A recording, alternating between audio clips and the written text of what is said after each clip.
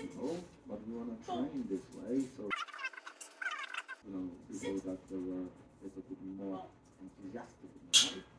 So again, you know, like he does automatic sit, and I'm acting very, very animated, like over here. But I want for my dog to, to be like a video game. Like I can see things that are quite a lot, but I can turn them off.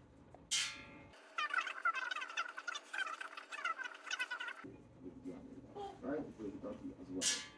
We work on her relationship with uh, other dogs, but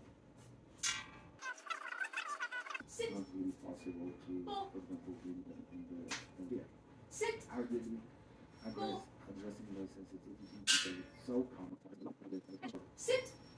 reactive behavior to others.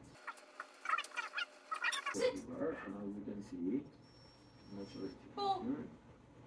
We'll make it just a little louder. So the bite Sit. responds to the to the sound of the receiver. Um, and uh, that is the, one of those things that, that that was amplifying the Sit. reactivity to other uh, dogs.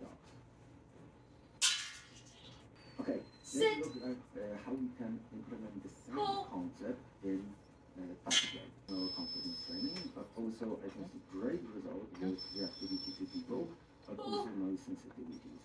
Oh, the dog can grow confidence simply by doing the game, but also overcoming